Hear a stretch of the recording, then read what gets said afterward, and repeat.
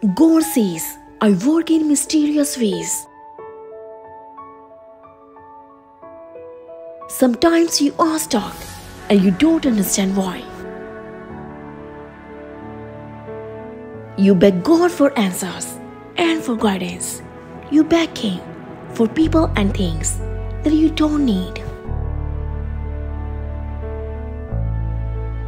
They are temporary. You beg me for someone to love you despite all our flaws. You have already found that person. No matter what you have done, the mistakes you have made, the sins you have committed, the people you have hurt, I forgive you for everything.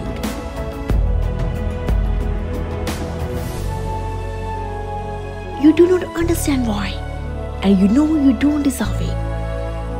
But I do it because I truly love you. You don't understand right now, and you have anxiety for what your future holds. But I already have planned out for you. It is up to you to have faith in my plan for you. You have to trust me